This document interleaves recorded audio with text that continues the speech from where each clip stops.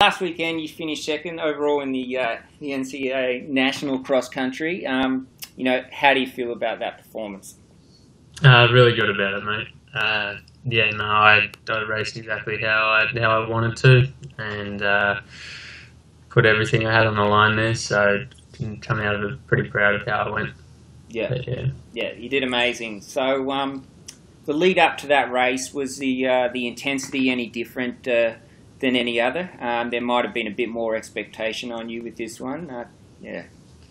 Yeah, um, no, it's it's definitely right. I mean, I I had higher expectations of myself. I think, um, but at the same time, I was trying my best not to not to let it sort of overwhelm me. Uh, I think that happened to me last year, and it, it just didn't result in a good race. So, um, yeah, high expectations, but also just trying to keep a um, a level head about it all. Yeah. And having having the two other guys on the trip with me uh, helped out with that. Sort yep. of just made it made it seem like a training camp almost. Um, and yeah, no, it was it was a good trip. So I think it, think it was handled pretty well. Yeah, I mean, look, that's one of the great things about college, isn't it? That you know, you you the support, you're training, you're competing with your with your friends, with a team the whole time. So, you know, I bet that was a, a real a real benefit to have them there.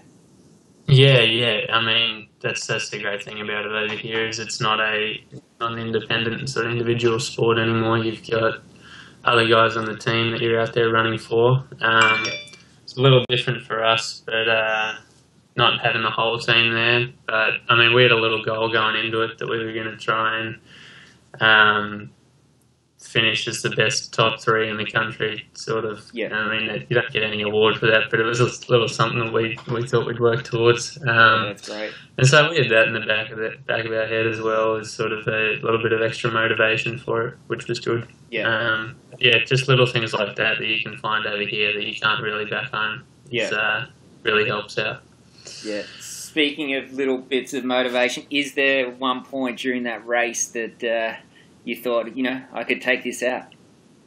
Yeah, yeah. There was there was one point where I'd sort of heard him breathing a bit heavier, and uh, I mean, just something I'd never really heard him do before. So I guess something different was was a good sign for me. Um, but yeah, I mean, it was good. It kept me kept me sort of motivated throughout the whole thing to to keep going. Like you never know what's going to happen in the last last half of the race. Um, I mean, in the end, he did pull away from me, but it's, uh, I don't know, little things like that that can just keep you going and maybe make you even more thirsty for uh, for the next race. So Yeah. So, as running isn't obviously the only facet of your life over there, you've got um, obviously your studies. So, where where are you at in your studies, and what are you what are you doing, and how do you juggle everything? You know, with with the pressure, the competing, the training, the studying, the exams. Yeah, no, I've I've I'm three years into my degree over here, so I've got another year to go. Um, and uh, last year shouldn't be too bad. I think I did the degree sort of top end heavy, so I've got just a few more subjects to go and I'll be all done.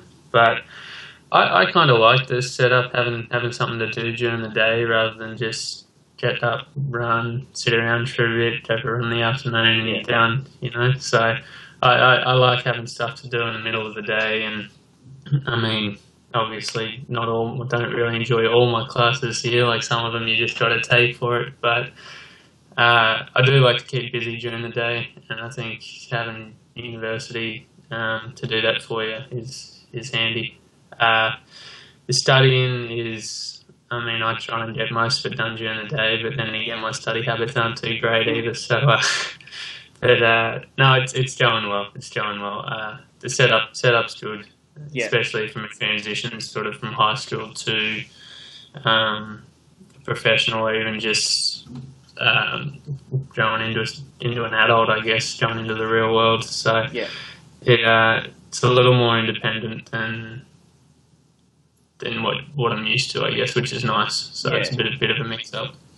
Yeah, oh, that's great. And um, qualifying for Rio. Um, where are you at with uh, that? And um, you know, how often do you think about it? You know, going through everything. Yeah, I mean, it's always always on your mind, I guess. Um, and I'd I'd love to make the team this year. I think I'm in good shape for it. So I'll. Uh, I guess I got to.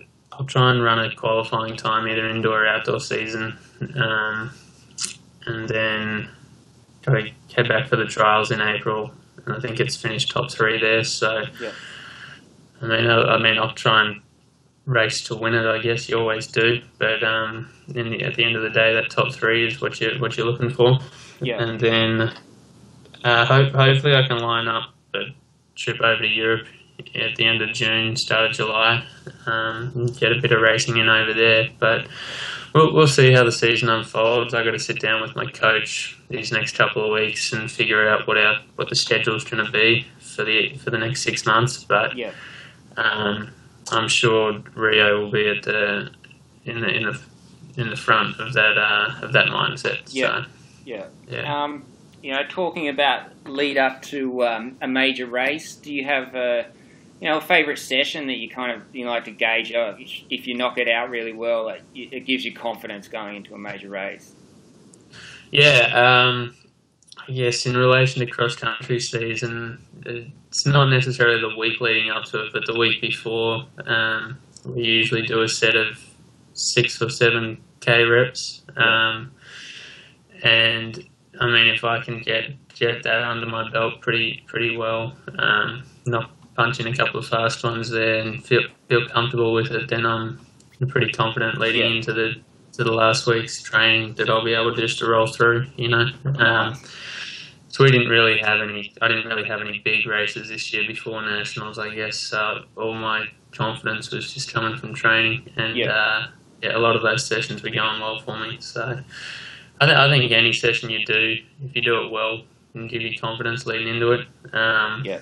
So yeah, but yeah, definitely the K's and the mile repeats are they're good for me. It's just shows I've got the legs in me. Um, Yeah. so. And what's uh, what's considered a fast a fast rep there for the K? Uh, so we'll do it on a grass grass loop over here. So Yeah. anywhere between 240 and 245 Yeah. um, for the fast reps, and then the slower reps are between 245 and 250. So it's um, towards the end of the season we were starting to do it so that I was doing one in that 245 to 250 range, and then Yeah. one in the 240 245 range, and sort of alternate back and forth between those. Yeah, yeah. Nice. And So- so after you know pretty pretty heavy training load, like you know during the XC season, and um, you know continuing now, are you going to have a um, a rest or a break, like just to recoup at some point, or is it not even an issue?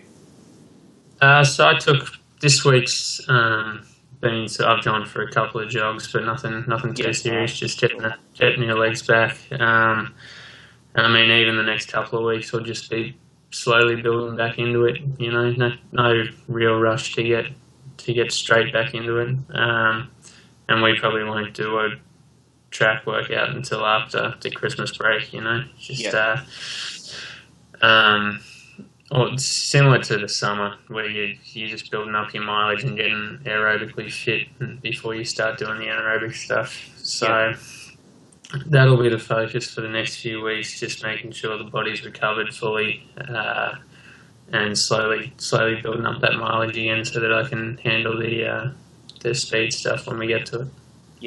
Great. And and growing up, just a bit of a random question, but did you have like a you know an idol, a sporting idol? Doesn't necessarily a runner, but you know someone someone you like what they did.